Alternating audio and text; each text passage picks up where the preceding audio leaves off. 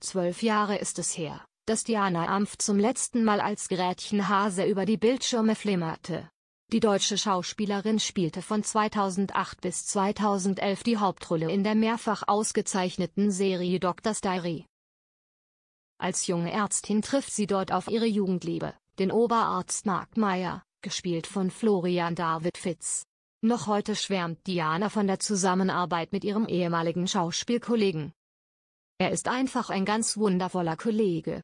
Es macht einfach Spaß, mit ihm zu arbeiten, erzählt die 47-Jährige im bunte Interview und betont, dass Florian auch privat ein ganz toller Mensch sei. Die Chemie zwischen den beiden haben nicht nur am Set gestimmt, auch nach Feierabend soll das TV-Liebespaar gerne Zeit miteinander verbracht haben. An den Wochenenden in Form von Koch- und Spieleabenden zum Beispiel. Ich würde das schon als Freundschaft bezeichnen, erklärt die Comedy-Preisgewinnerin. Ob sich die Teufelskicker-Darstellerin eine erneute Zusammenarbeit mit dem Münchner vorstellen könnte? Natürlich jederzeit wieder, soll die Kinderbuchautorin darauf wie aus der Pistole geschossen geantwortet haben. Florian sei jemand, mit dem sie immer wieder gerne gemeinsam vor der Kamera stehen wolle. Außerdem, verrät Jana, sei sie auch für eine Fortsetzung von Doctor's Diary zu haben.